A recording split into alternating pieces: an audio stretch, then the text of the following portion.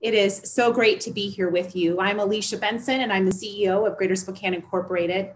The State of the City address and the State of the City mayoral address has become a cornerstone of an events here in our community. And for the first time ever, we're simultaneously streaming live on Facebook as well. And now it's my pleasure to introduce our guest of honor today, the City of Spokane Mayor Nadine Woodward. Mayor Woodward is a partner, collaborator, and convener of people with different ideas, perspectives, and passions to build new momentum and lead through challenges related to the protection of public health and civil discourse and minimizing the impacts of natural disasters. Under Woodward's leadership, the City of Spokane has built and grown relationships that have increased police officer visibility and community engagement, fostered regional collaboration to meet the needs of the unhoused in our community, accelerated street improvements, kept utility rates affordable, made neighborhood waste collection more efficient, and worked closely with businesses and professional organizations to support their economic investments, all while working closely with regional and state partners to protect the health and safety of our individuals and our businesses. Her efforts are part of a plan to advance public safety, homelessness, housing, and economic development priorities to keep Spokane at the leading edge of innovations and advancements that make Spokane a place she loves to call home. So I'd like to welcome Mayor Nadine Woodward.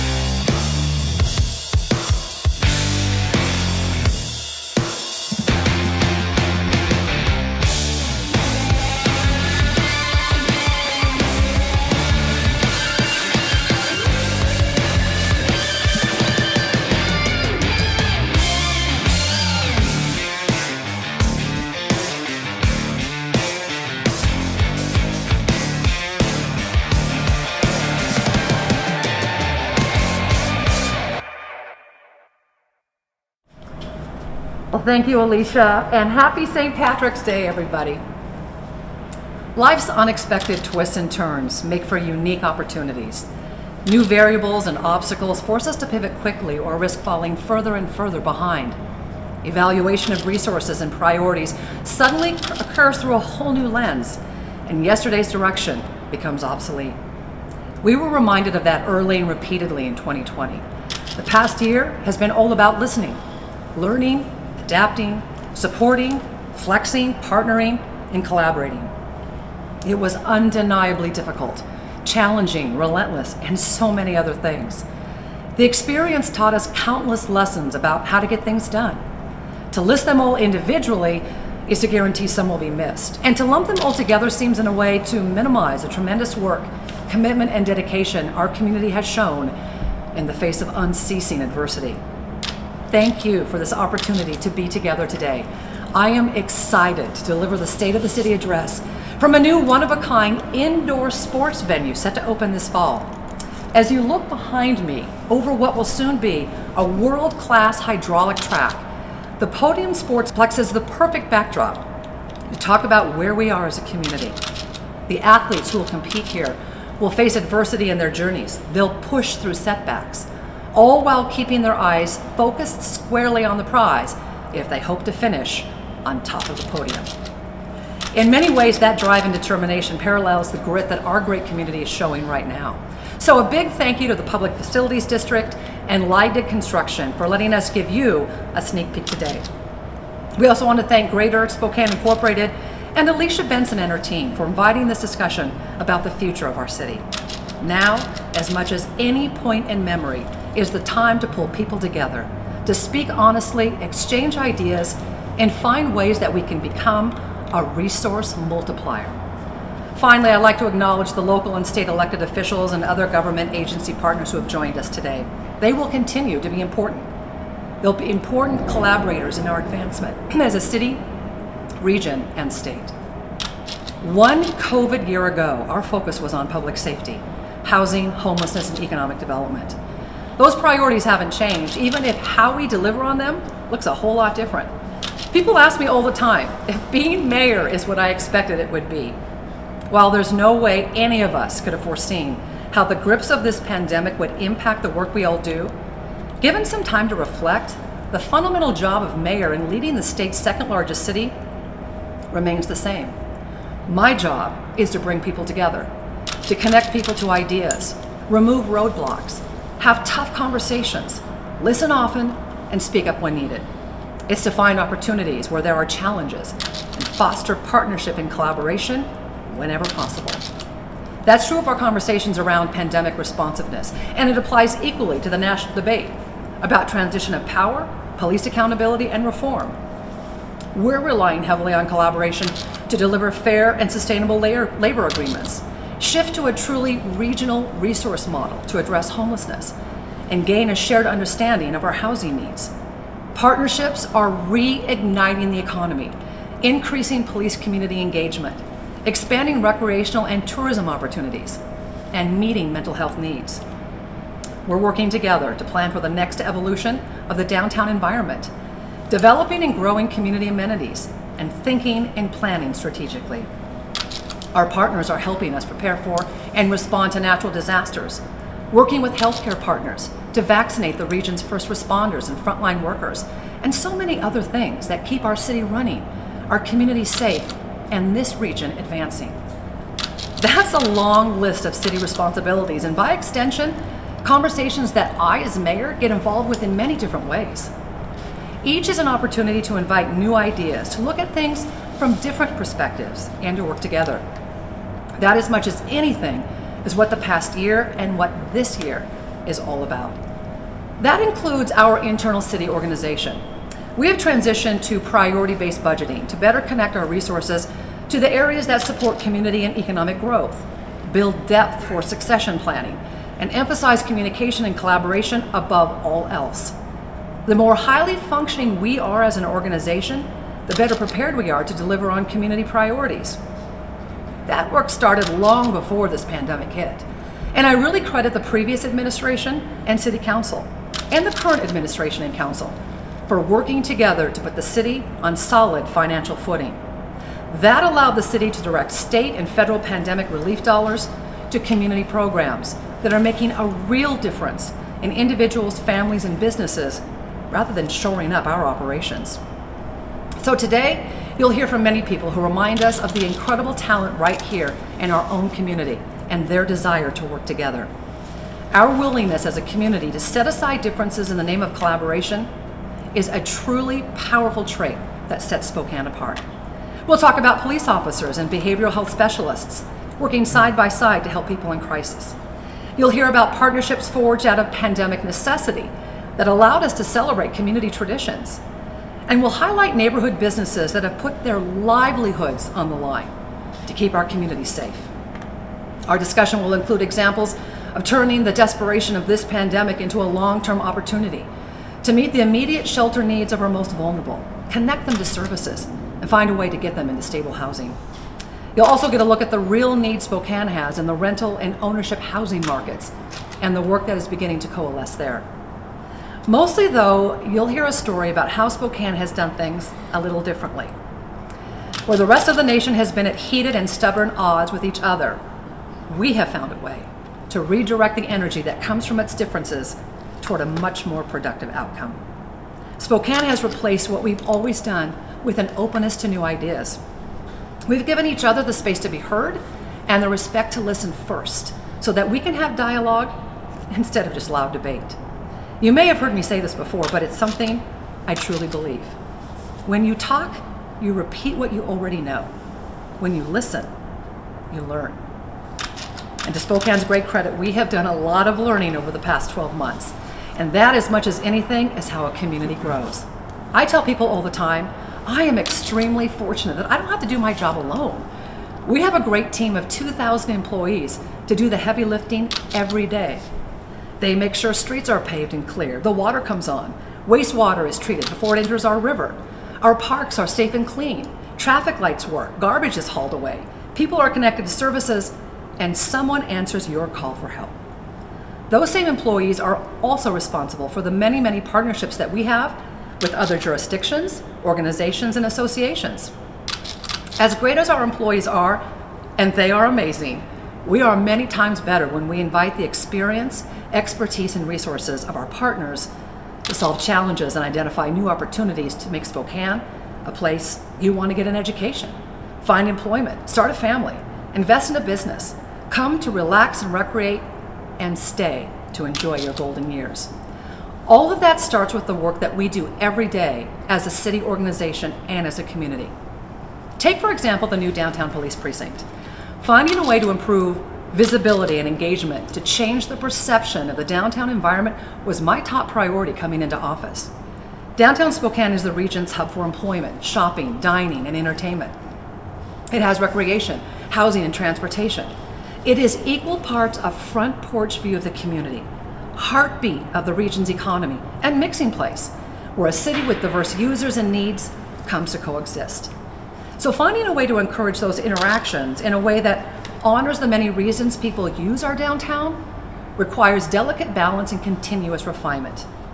When the downtown police precinct opened last summer, it increased visibility and fulfilled a promise that I made to enhance engagement between officers and our community. The precinct is staffed with a team of 16 officers, including a captain, lieutenant, sergeant, and detective. It's also home to the department's behavioral health unit, which pairs mental health uh, professionals with officers. And that unit is growing by two more teams this year. In the past year, the co-deployment model has kept people experiencing a crisis from going to jail or the hospital 78% of the time. Arrest accounted for just 1% of the more than 3,700 local contacts. Pairing officers with mental health professionals saved the Spokane Police Department more than 1,300 hours and 2,100 calls for service over the past nine months. That connection to services for those in crisis and protection of police resources for others is significant. And building on that success, the downtown precinct, recently expanded its coverage area east to Sherman Street to improve responsiveness and better utilize the skill sets of those mental health professionals. Downtown officers who use bicycles as part of the patrol when weather allows have also piloted electric bikes as a quicker, nimble, and environmentally friendly response tool that will decrease officer fatigue during intense responses.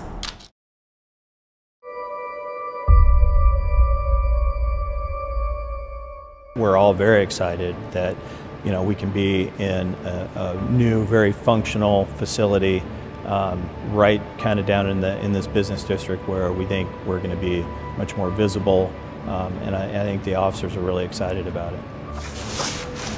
So here's the, the entrance and the reception area where we'll, where we'll have a desk officer. Yeah, looks good. Wow, it's really taking shape. So we've got the four new bodies and a sergeant position that the mayor gave us, and uh, we were assigned to the downtown precinct primarily with an emphasis on bike patrols and foot patrols and just making ourselves more visible to the, the public.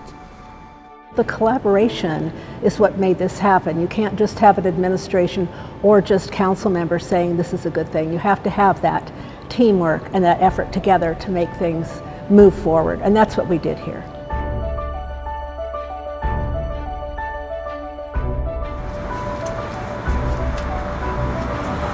I'm Officer Richie Plunkett and wanted to just come and talk to you and heard you guys are new to the neighborhood. So if you need us, you can come down there. We have a front desk officer. We can always assist you that way, or you can just call us and we're a couple uh, blocks away. We knew what people want is to feel safe downtown. And whether you're a business owner or even if you're a homeless person, you want to feel secure and safe downtown. And having police on the ground, on foot, on bicycles, a, a building that's open 24 7 that people know that they can go to if they're feeling unsafe is what we needed.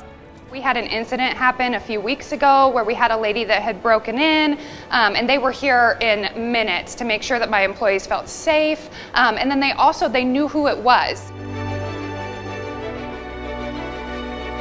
The mayor and the city council president did something unprecedented for our area. They, they worked together and collaborated to work with the guild and sit down in face-to-face -face conversations to work through the contract. It provided clarity on what civilian oversight looks like. It also enhanced the authority of, of the civilian oversight in all parties, including the Ombudsman, had some input into that, that contract and what that final product was.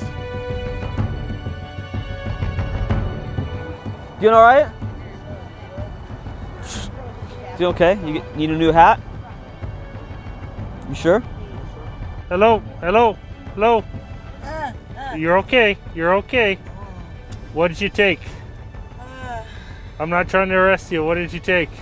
Is there any way that you could go over the HOC right now? Okay, thank you, man. Appreciate it. He's schizophrenic, according to his mom, off his meds. Hey Wayne, my name's Jenny. Have you been sleeping lately? With everything you got going on, are you having any thoughts of wanting to hurt yourself or hurt anyone else? Happy Monday, everybody. Today is the first day of our expanded borders. Anything east of Division all the way over to Sherman, and then third down to the encompassing the new university district is all part of our jurisdiction now and our responsibilities. Happy to have you guys in the neighborhood. Makes it really easy for me to come over here and have a snack and check on you and make sure everything's fine. That precinct is making a difference as we speak. Having just the increased level of staff, thanks to our council and to the mayor, and then having them positioned right in the core, having the advent of the mental health team uh, couldn't be more welcoming to our team um, because now uh, you know we're just going to be that much more effective working together, uh, making downtown that much better and brighter.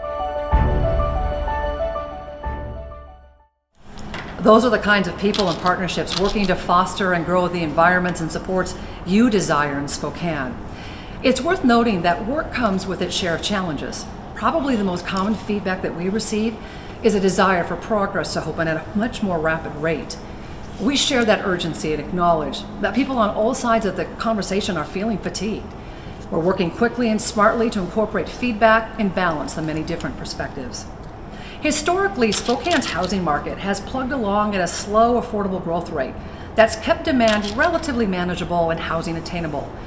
That lack of intensity, though, has served as a bit of a false relief valve to a market that has been inching toward diminished supply for many, many years. Finding a place for people to live is another significant part of the work that is advancing Spokane. Generations of homeowners have assumed that their children and grandchildren would also be able to afford a home. As supply has tightened and prices have risen, the number of people who have serious doubts about being able to achieve home ownership is growing much more rapidly. The trend toward a remote workforce makes Spokane even more attractive to those looking for a, a safe, secure community and will add pressure, more pressure, to an already tight market. Home ownership, especially in the lower end of the market, has seen additional barriers. And despite some expansion in multifamily inventory, rents have been rising. The past couple of years of significant market acceleration added pressure that is very, very real now. How to create enough and the right kinds of housing has been a challenge. And the task got progressively more difficult as the market took off, inventory dropped, and the economic uncertainty hit. Concern is also growing about the ability of tenants to pay their rent. Looming on the horizon is a potential wave of renters who have fallen behind on monthly payments and for the near term remain in their homes because of temporary eviction protections. Landlords have also felt the economic pinch of inconsistent rent payments. Federal and state rental assistance funds will help limit the pandemic impacts, but will likely not be enough to cover the full extent of the challenge. Studies show that we must create more entry level housing and strategies to invite new opportunities for people to move up. City staff has begun creating a housing inventory to get a current handle on that need.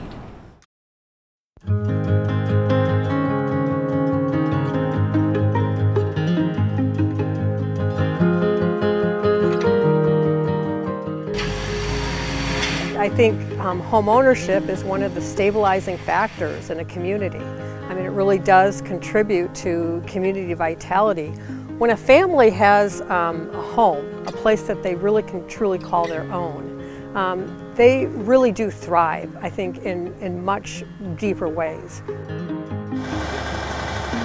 you know, this whole area has had so much affordable housing removed, and this was a historic building. It was providing affordable housing, and we just said, this one's got to stay. We have a new library coming in. It's just like kitty corner across the street. We got this housing development that's moving to its new location. So this opportunity for this neighborhood to see growth and investment is critical to East Central. And this is something I call the heart of Spokane, where you see a building that was preserved and moved and created so we can have income qualified individuals be able to stay in a wonderful neighborhood that's going to be poised for growth and it shows the heart of what people in Spokane would like to see.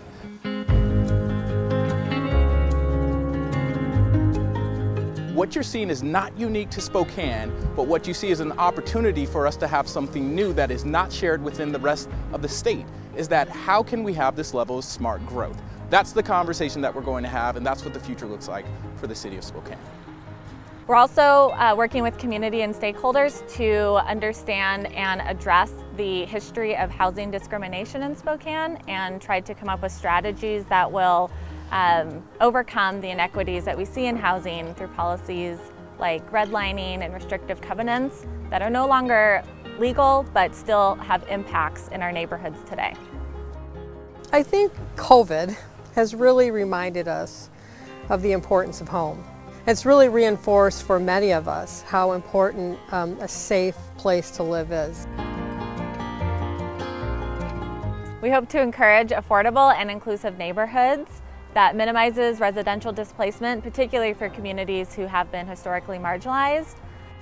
The basic concept of Cinto Commons is that the people who live there will have lower incomes, but, but they'll be able to live within their means, within their budget.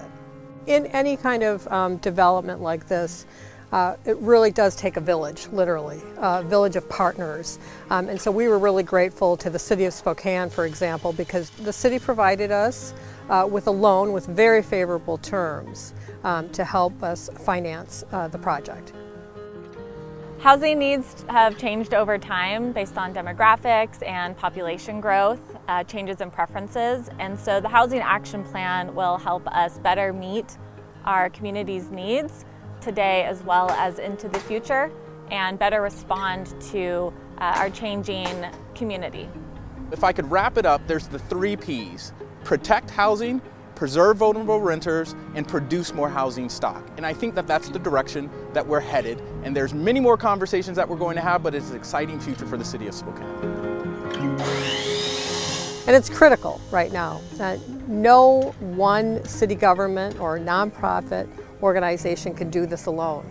It's really going to take all of us. So it's going to take the nonprofit sector, the private sector, and our local government partners to really rebuild our communities and make them better for not only those families, but for all of us. When those families thrive and when they do better, I tell you, we all do better. Managing the city's housing needs will require creative solutions, smart use of density, and a close look at the many factors that influence housing and neighborhoods. That includes transportation, employment and income, access to services, and parking. Appropriately timed funding strategies aligned to the right uses, even if they may be different than originally imagined, will also be important considerations. Just as you have all experienced, our work over the past year was temporarily redirected to focus on restoring construction to essential status. That was to minimize any disruptions in the progress we've already made. City planning and building inspections also had to adjust to meet new safety requirements while keeping projects moving planning and advisory group meetings slowed as some of our city staff joined the regional response to COVID, and we shifted as an organization and community to a new way of meeting and gathering. The good news is, last year's construction valuation of $585 million was the highest in at least 20 years. This year, new housing starts came in at a record pace in January and February. That's great news to a community that desperately needs to increase its housing stock as part of a broader strategy to create more and affordable housing options. Housing inventory is also a key driver in how we manage homelessness in our region and how we expand our economic base. That will continue to be true even as we get a clearer picture about how much a remote and distributed workforce will continue to play in our future. Current public health guidance has more people than ever working from home. Consequently, office buildings are largely vacant, and the neighborhood businesses those workers have historically supported are struggling to make ends meet in this new world. Reduced business and recreational traffic have also shined a brighter light on the region's unsheltered individuals and families and added a level of concern that current economic conditions will only add to the challenge. As a city, we've made an important shift in how we best meet the needs of the homeless members in our community. Large concentrations of resources and the accompanying populations of those seeking them has placed a heavy disproportionate burden on our downtown. As we learn and expand our strategies to move people through and out of homelessness so that it is rare, brief, and non reoccurring, we're doing a much better job of leveraging our resources to address this very regional need. This is one of the tremendous bright spots that has come out of the community's response to COVID. The city and its regional partners recognized early on that the homeless in our community were among the many vulnerable populations that would require a concerted, collaborative effort to keep healthy and to slow the spread of illness. It was out of that necessity that opportunity really began to show itself. The city joined Spokane County, Spokane Valley, and the Spokane Regional Health District at the virtual table to discuss short term public health strategies to keep people connected to services. Those conversations have evolved into growing longer term regional partnerships that will make a major difference in how we help people advance in life. Among the many steps forward, the three regional governments meet regularly to discuss impact reduction strategies. Now, that might not sound like a lot, but it's been critical to our collective work. Together, we've secured a building and an operator for a new night by night drop in center for homeless adults that will eventually transition to a bridge shelter program to move people quickly into permanent housing once this pandemic has passed.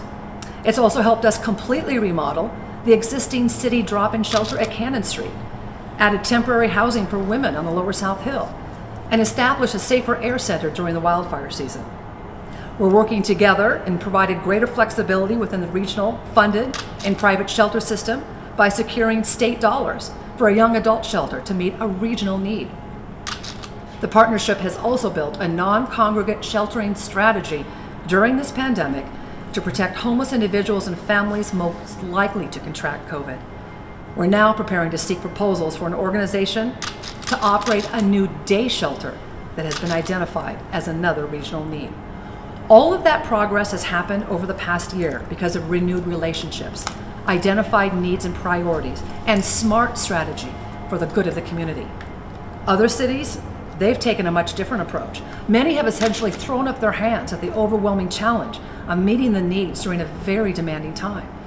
But in true resilient Spokane fashion, our partners kept after it and continue to find ways to overcome the challenge in front of us.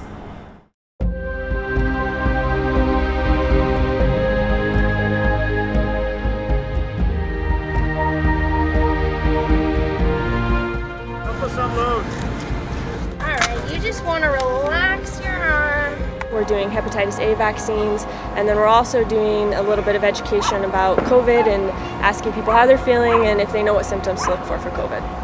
That is the uh, the city's mission is to be more holistic at our approach at homelessness, to provide those uh, those much needed amenities to them so they can they can have the ability to get moving out of homelessness. And the mayor has been so instrumental in having that regional approach uh, to especially homelessness. So we can look at it as a regional effort um, and have all of us really come up with the best thoughts and the best ideas for the citizens in our area.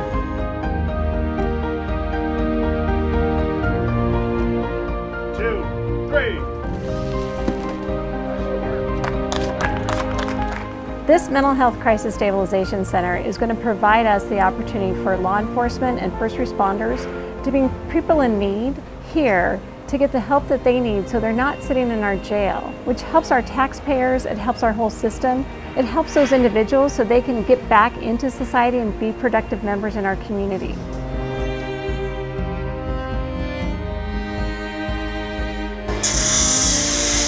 We're looking at a building that we rebuilt basically from the ground up. Not intentionally, but as, as we dug deeper into the project, the architects and engineers realized that the building had some integrity structural issues that were uncovered. This building needed to be a true public asset. And to do that, it needed to be safe for the people that it's going to be housing. Originally, during this whole COVID situation, uh, most of these homeless were um, actually staying at the arena. And then, but during that process, we were able to secure this building and then quickly do a quick remodel in the building. So as the arena ended, those folks moved into here. And we've had some great success stories of people uh, coming through the doors and, and uh, getting a job and then moving off into regular housing. So we are so excited to be here in the new Hope House that'll be opening this April. It couldn't have been done without a collaboration with the city, county, and our private funders who came through to make sure women weren't sleeping on the street of Spokane anymore. So at the end of the COVID shelter time, we are going to move this uh, shelter into a, what we call a phase two and three shelter. It's a transitional shelter. We don't want to just be a Band-Aid. We want to be a place that last year 200 people got jobs. That's what we're about, ending homelessness.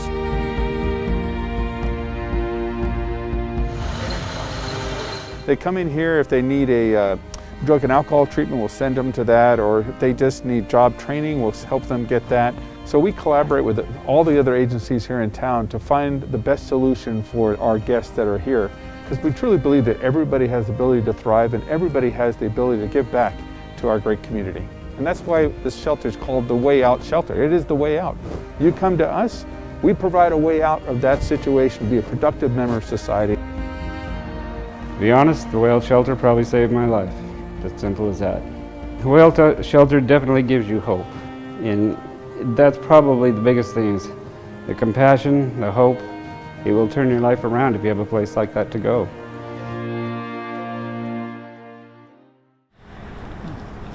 Each one of these successes has a story behind it and one major commonality a relentless focus on the outcomes needed for individuals, families, provider partners, businesses, and neighborhoods. Those sometimes competing interests and the intense passion that comes with it bring their own set of considerations. It can also deliver tremendous rewards. Effectively ending homelessness is more than finding shelter space and moving people into housing. It also requires more opportunities for employment, sustained business success, and keeping Spokane top of mind for recruitment and expansion. Connecting these pieces as a city, making sure as an organization we're investing in the right things that keep Spokane competitive in the marketplace, and working with our regional partners to land new opportunities are critical to our success. One year ago, our path looked a lot smoother. The economy was growing, consumer confidence and activity was strong, businesses were expanding and hiring, the plan was to focus on growing that momentum already in place. Our work over the past year, though, has since adapted. It now includes interim steps to support the small businesses that make up the backbone of our economy and preparing Spokane to be ready when the national economy begins to churn again. Restrictions on public movement and gatherings have been significant, a significant part of the public health plan to slow the spread of COVID. The approach has severely, though, impacted Spokane's economy, which is heavily dependent on small businesses, hospitality, and tourism. Over the past 12 months, we've redirected the focus of economic development from building on the momentum that existed to restarting our economy. And that's another area where our community's willingness to work together has really shined. Finding creative ways to drive traffic to businesses while following public health guidance during this pandemic. The city has sought partnerships to brainstorm ideas, leverage resources, and generate support for small businesses and leisure activities. Creative collaborative approaches have salvaged community fireworks displays to safely celebrate the 4th of July and New Year.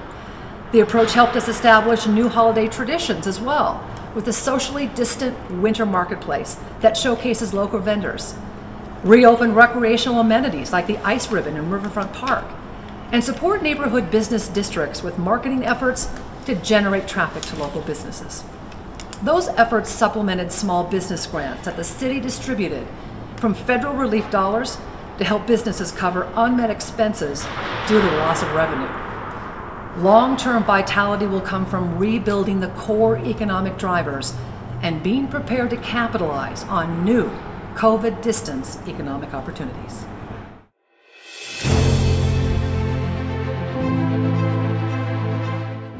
there's things that we did in 2020 that were a huge success that, you know what, we'll probably continue to that down the path in the future. And one of those was just behind me uh, where we had the winter market. Oh, nice. Yeah. Thank you so much. And that's one thing too that we looked at is how can we use our activation as a support for local businesses. And one of the biggest activations that we had was the Manito drive-through lights.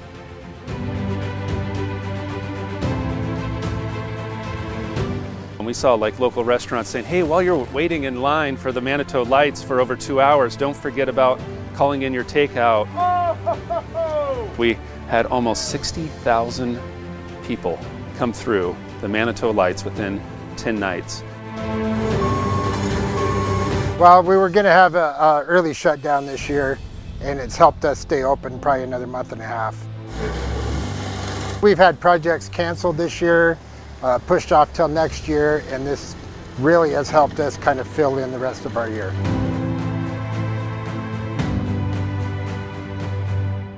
Typically, $1 million in public construction investment equals to about 10 to 20 very good paying jobs in our community. So this is more important now than ever before.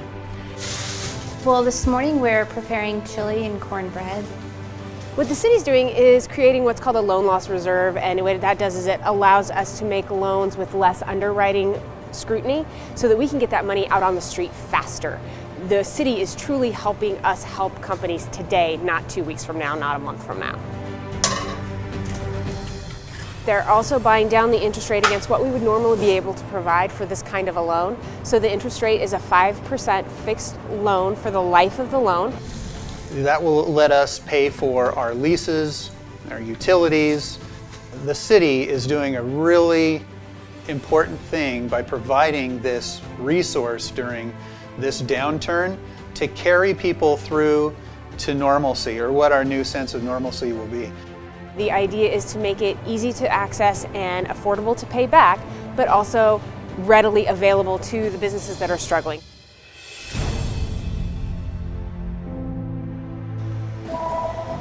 Soulful soups. Yes, we have tomato basil, beer cheese. Well, you know, in this town, uh, private business and everyday people are what drive this town. Government, though, has some powers to make things happen. We are catalysts for positive change.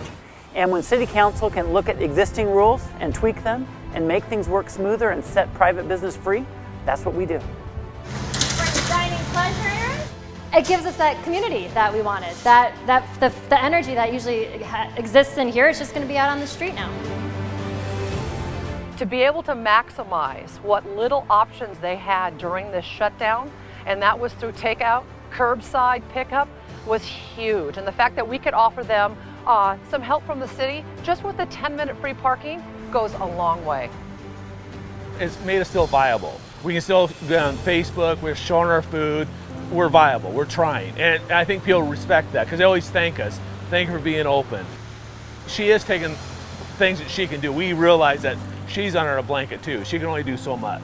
And but but what she's done has been it's been helpful.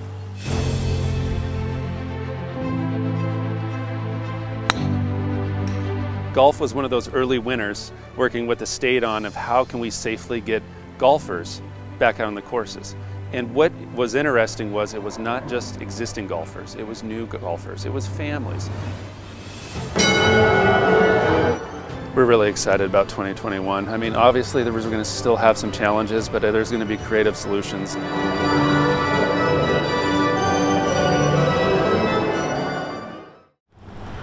We are extremely hopeful and positive about what is just ahead for our region. Thanks to the selfless hard work of our community, case counts are as low as they've been since mid-September and are consistently lower than the holiday peaks. Vaccine distribution is growing by the thousands each week. Collaboration with other partners and state agencies have never been more robust. The partnership with the Spokane Regional Health District, as you saw, is strong and growing. We've convened the East Region mayors and are in continuing conversations with them about specific needs for our communities. Discussions with mayors like Liberty Lake, Millwood, Spokane Valley, Airway Heights, Medical Lake, and Cheney are happening regularly. Communication with the governor's office has become much more consistent and provided an opportunity for us to give greater input.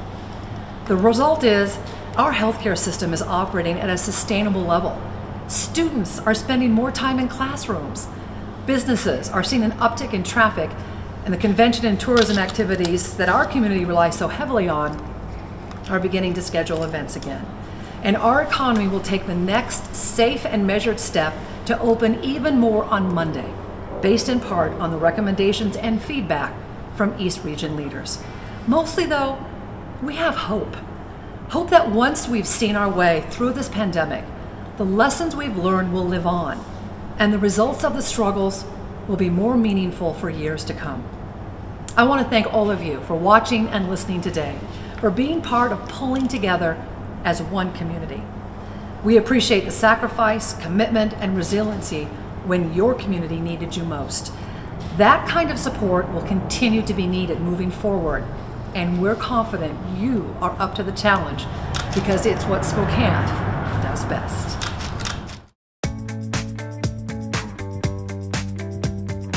Hey guys, this is Jim up here in the Garland District. How's it going folks? I'm Aaron Fiorini at Market Street Pizza Parlor. Thanks for joining me today. My name is Chef Alex Santos Kuklon. I'm the corporate chef for Thai Bamboo. I am Victoria, your friendly bra whisperer. And as you can see, things look a little different in our shop right now due to COVID-19. We've been doing our best to adapt and make changes to keep customers coming through. We have been trying to stay innovative as much as possible and we actually launched our own mobile app which you can um, download and place your order and we can even bring it out to your car if you would like us to. And I'm learning new things myself. Do you know when you hit that go live button on Facebook, everybody can see you? So we do live videos twice a week. We've also installed eight brand new state-of-the-art heaters that are out here uh, for people to sit out and dine. Very comfortable, putting off a great heat. We do a free Uber Eats delivery. We bring curbside assistance. Even if you call in an order, you can pay over the phone. We have online touchless service. So again, guys, it's Collectibles in the Garland District and come on up and see us because there's a lot of shops that are having a really hard time and we would love for you to shop local and you know come on out and help us out. Go out and support local, it doesn't just have to be us. So it's more important now than ever that you make it out to these local businesses and support them so that when all this is over, uh, we still have these guys around. And I want you all to remember to be kind to each other, but remember to buy local and give local. That's what makes Spokane great. Well, thank you, Mayor. Uh, really inspiring. And as I think about partnership and collaboration and the opportunity ahead, just a huge thank you to you and to the city of Spokane for being here today and for this conversation. We have time for a couple of questions. So we're okay. going to jump right in and uh, be cognizant of time. Uh, the first question is a little bit to just the very end of your remarks around reopening. And a question from Nathan Dykes around the city's plan to relax restrictions with the COVID numbers dropping so drastically. Um, curious what that plan is and also around full school reopening. And certainly we know you don't have all the control in that, but would love your thoughts um, on both of those issues as we think about um, reopening. Well, we appreciate the opportunity to have input on what that relaxation um, looks like with the governor's office. I just had a meeting this week with the East Region's mayors. It was a fantastic conversation. And the first thing that came up was, what are we going to do to provide input for the governor's phase four plan? Um, most of us uh, were reticent to say, well, let's get to phase three first. But those conversations will continue. And when we gave uh, several weeks ago, the East Region mayors gave a long list of suggestions to the governor's office. Many of those suggestions can definitely be used in, in phase four. So we'll continue to um, come up with recommendations and, and provide that input to the governor's office. Thanks, Mayor. And I think mm -hmm. it's important that our audience knows that much of those restrictions is something you have the ability to influence and advocate for, but the, the yes. decision making happens at the state level. Absolutely. Um, the second question is from Lars Gilberts, and the question is What are your top priorities or projects to fund with the new stimulus dollars coming to the city?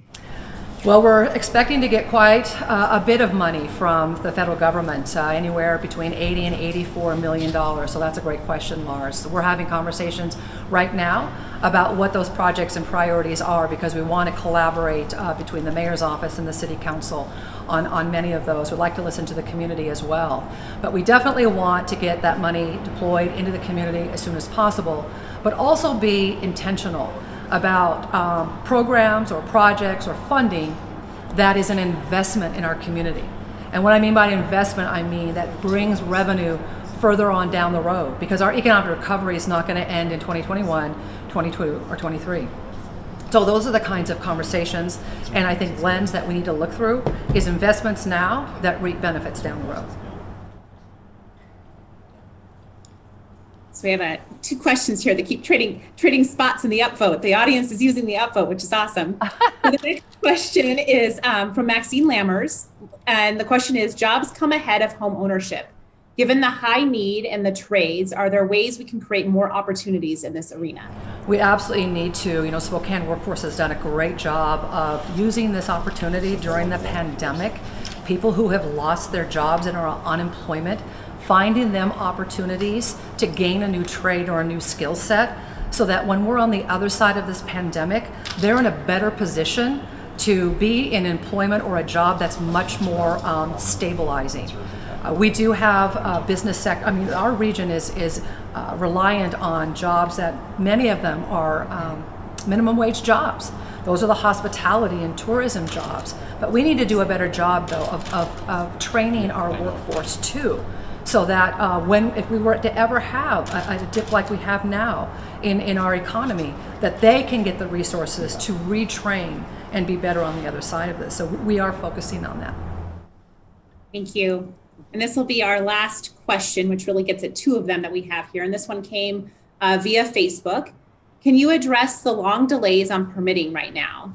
It's really just disappointing to hear about businesses that are backing out of investing in our community due to the process. I, I hear uh, concerns about that from the community, whether they're builders or, or developers. Uh, let me just say that uh, in 2020, we did have record construction valuation. Um, our permitting office was robust. And in uh, that process, having to work remotely and having to set up a system where people can work from home. Um, I think the communication makes it a little bit harder sometimes when you're in that remote environment. Uh, the first two months of this year, as I mentioned, housing starts, record pace. They're keeping up as quickly as they can. I think they're trying to do the best job they can. There's always room for improvement, and we'll focus on that. Well, thank you, Mayor. And if you, uh, the virtual audience, join me in a, both a round of applause and a thank you to the Mayor and her team for their leadership on behalf of our city and our region. And it's awesome to have you live from the podium. Yeah. Celebrate the official grand opening. really thank you, Alicia. You're welcome.